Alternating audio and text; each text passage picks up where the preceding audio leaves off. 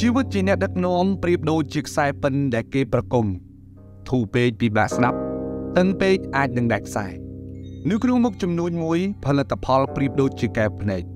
ការលក់ប្រៀបដូចជាដង្ហើមទីផ្សារប្រៀបដូចជាបេះដូងចំណែកឯភាពជាអ្នកដឹកនាំប្រៀបដូចជាប្រលឹងនៃមុខចំនួនរបស់អ្នកខ្ញុំបានចំណាយពេលជាច្រើនឆ្នាំដើម្បីស្រាវជ្រាវពីគំនិតដឹកនាំ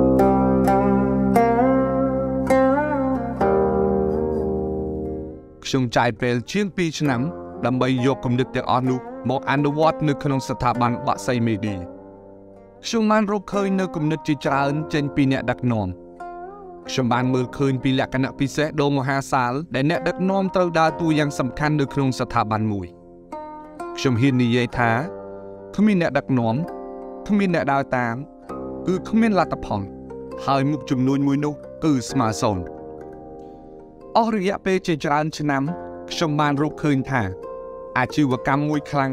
ដាច់ខាតត្រូវតែមានអង្គសំខាន់សំខាន់ចំនួន3គឺបុគ្គលិកមានអំណាចមេមានអំណាចនិងច្បាប់មានអំណាចបុគ្គលិកមានអំណាចគឺជាមនុស្សដែលមានការទទួលខុសត្រូវខ្ពស់លើជីវិតការងារខ្លួនឯងមិនត្រូវការអ្នកណាមកជួយលើកទឹកចិត្តនោះទេ គឺគេចេះលើកទឹកចិត្តដោយខ្លួនឯង ចេះដោះស្រាយបញ្ហាផ្សេងៗដោយខ្លួនឯងដោយមិនបណ្ដោយឲ្យខ្លួនឯងដើរងាប់ប្រឡានោះឡើយមេដែលមានអំណាចពិតប្រាកដមិនមានសំដៅទៅលើអ្នកមានទ្រព្យសម្បត្តិ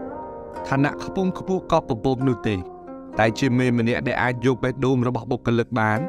អាចធ្វើឲ្យបុគ្គលិកស្ម័គ្រចិត្តធ្វើការដោយមិនខ្លាចនឿយហត់ទោះបីគ្មានវត្តមានពួកគេនៅពីក្រោយក៏ដោយ ច្បាប់ដែលមានអំណាចគឺជាច្បាប់ដែលធ្វើឲ្យមនុស្សគ្រប់គ្នាទទួលបាននូវប្រយោជន៍និងភាពសប្បាយរីករាយនៅក្នុងការងាររបស់ពួកគេពួកគេអាចធ្វើការនៅក្រោមច្បាប់មួយដោយមានភាពសុខដុមរមនា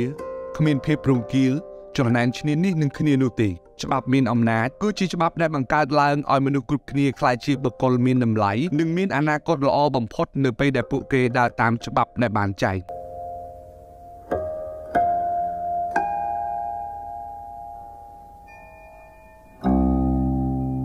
អំណាចទាំង3នេះខ្ញុំបានដាក់វាចូលទៅក្នុងវណ្ណកម្មថ្មីរបស់ខ្ញុំដែលមានចំណងជើងថា